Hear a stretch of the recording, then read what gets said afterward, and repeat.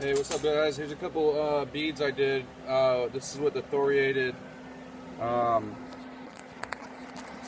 tungsten and new gas. I was having issues uh, with the welds, and they were um, they were just really crappy. And re I just realized that I was out of fuel or gas fuel, uh, argon.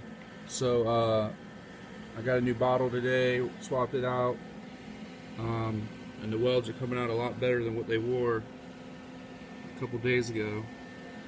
Um, there's a couple other ones I did. I did my name, and then this one, these two, these over here. So they're looking a lot better than, compared to you know some of this stuff. So.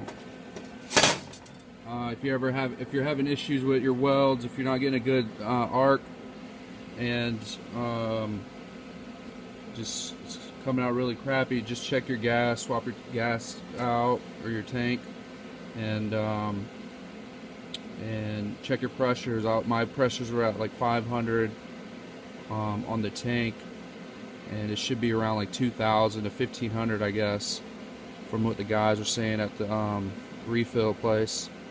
So I uh, hope this helps somebody out if they're having issues with their uh, 250EX uh, Everlast TIG welder or any of their other welders. Uh, check your gas and that should help you out. Thanks for watching guys.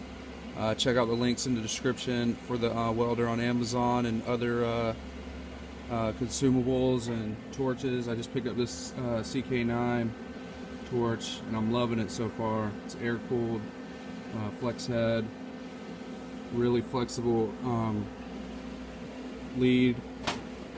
And it's just really easy to hold.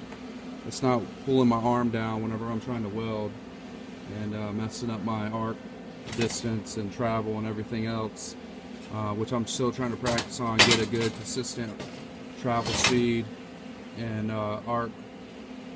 And I don't know I think it's going pretty good so far. I'm gonna keep practicing. Hopefully um, I can start welding some stuff together that looks a lot better than this crap.